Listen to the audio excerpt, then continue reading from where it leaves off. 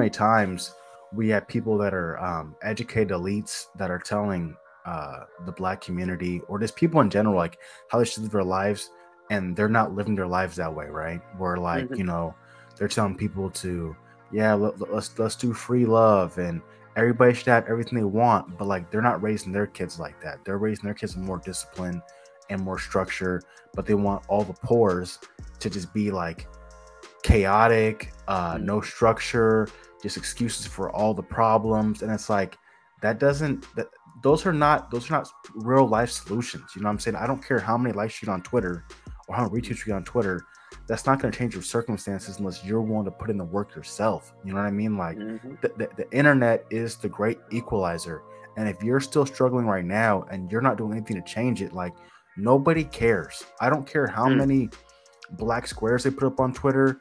I don't care how many fists they put up outside, mm. people are gonna look at you like you're nuts if they don't see you doing any effort to make anything any change in your life. And if you're just saying, you know, well, I'm living in a white supremacist society and every day I'm struggling to make it, like they'll nod their head. But at the end of the mm-hmm. day, like they don't give a fuck. Like people Man. people will listen to you, do your spiel, and they'll just say to you, okay, yeah, that makes sense. Yeah, yeah. And then they'll want to tell their little spiel about why they're not Man. successful and after that you guys leave and then you guys accomplish nothing mm. okay so so i have a little story um i was about 22 years old right and um mm-hmm. i was in prison and i had a cellie and uh he was a pimp from uh seattle and you know when you when you're in the pen a lot of times you're going to tell stories to each other your cellmates you're going to tell your whole life story about how you got there and all the hardships and everybody just trades these war stories about the girls you've been with and how high school was and all the escapades you done did, you know, war stories, Trevor, right?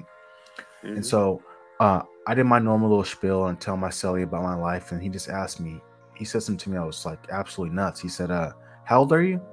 And I told him, Oh, I'm 22. And he says, Oh, yeah? He said, You know what? Nobody gives a fuck, bro. Ooh. All, all the shit you telling me, nobody gives a fuck, fam. Like all this shit is meaningless. You're grown now. I don't. Nobody cares about how your how your dad did you, how, how your mom mistreated you. All that shit mm. doesn't matter now. You know what I'm saying? You're fucking grown. Nobody cares. And like people may people may listen to you, but they're only gonna listen to you as much as you listen to them. And then once you're mm. gone, once you're not listening no more, they don't give a fuck. And they only like you for where you are right now, right? This is all just fun and games, laughing, ha ha, he he. But if someone needs you to help, if you need help right now, like a doctor or you need $500 for your baby mom, they wouldn't be there for you. So knock that shit off, man. Stop, stop leaning back on your trauma as some kind of like badge of honor or, an excuse for why you're not successful because honestly, nobody gives a fuck. And then mm-hmm. I sat back and I was like, I was angry, but then like there was no flaws in the logic for me to go back and like want to be mad about it, right? So I had to sit back and just just kind of see there in it. And but really that really was a changing point in my life because I realized nobody's gonna come save me, right? No one's gonna come be there for me but me. Like I gotta want it for myself. So it doesn't matter all the things I was taught as a kid. I had to change my whole entire mindset. So after that, I started like writing myself letters writing mm. myself like a whole bunch of letters, right? And so because I didn't I always heard that, you know, people are going to forget that feeling they had when they're in the pen, like the, the amount of despair they had, the amount of like anxiety, the amount of like just wanting to be free, right? And so they said what you need to do is you need to focus on those feelings and write them down. So if you ever feel like you're in a position where you want to fuck up again or you want to uh, make mistakes, or you're feeling down, being depressed, you will never be as low as you were as when you were in the pen. You know what I'm saying? So it kind of gives you like a refresher because the human mind is so easy for you to adjust, right? So like even me, I wasn't I was 18 years old when I went to prison. I was a square. I had never really committed a crime before. It's the first time I ever, did, I ever did anything in my life as far as being involved with the police. Mm-hmm. And believe it or not, about after about in prison for about a year and a half, it becomes normal. Your body gets into mm-hmm. a routine, your mind gets into a routine. It's you watch football and then you watch basketball, then it's the summer, then you repeat. And you still over and over again. So you might ask yourself, like, how does someone do like eight years, just one day at a time.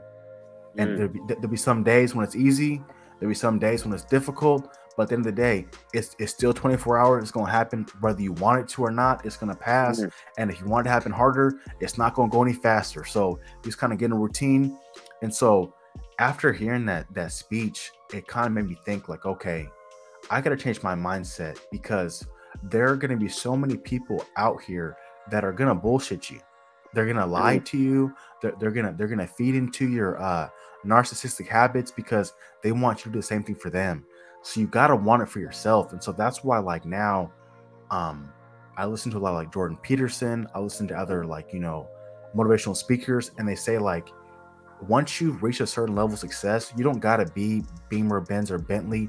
But once you reach a certain level of success, it's your job to go back and give back to the people that are in the same circumstances you were at. That's a part of the hero's journey. Is once you once you cast the ring into Mount Doom, you got to come back to the Shire and let the young people know the mistakes you made, but also how you overcame things. I hear so much. I hear so much about the struggle and the strife. But what about those who are overcoming the struggle every single day? We got to start championing that shit way more because people, I feel like what they're doing is they're doing a disservice because only a few a few people can hear like you know we're living in a white supremacist society and everybody's racist and take that and say you know what? Okay now I want to fight against that. I'm gonna champion my people. But a lot of people are saying well if that's the case then what's the point of doing anything? Who I mean what's the mm-hmm. point of life? If if it's, if the country's still racist as it was since Jim Crow then what does it matter what I do? I'm never gonna get ahead. And then mm-hmm. why not sell dope? Why not try to hit shoot those shoot the moon and and try to hit a lick real quick and become a kingpin because obviously being a square doesn't work. You're telling me right now that you know working a nine to five doesn't work so i might have to try to be a drug kingpin. You know what i'm saying? I might try to hit the lottery. And so i think a lot of people think they're doing people uh, uh, a service because they feel self-conscious because they are successful in this white supremacist society right in america. So now they want to still prove that they're black so they'll tell people that are you know struggling that you know it's okay. Like yeah i made it but i'm special. It's like realistically you're not special.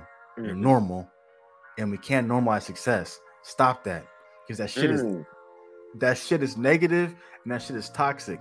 Stop acting like you going to college is something spectacular. It's not. You know what i'm saying? It's normal anybody else can do it if with enough effort put into it you know what i'm saying it's what do you want to sacrifice i keep hearing Right. about i keep hearing about you know the asian community and their their, their white passing all this other shit but you don't ever hear stories about asian immigrant families sacrificing meals so their kids can go to uh test practice preps so they can get their SATs higher. You don't hear about that shit. Everybody wants to hear about the light, but no one wants to hear about the struggle. And I want to hear more people overcoming the struggle.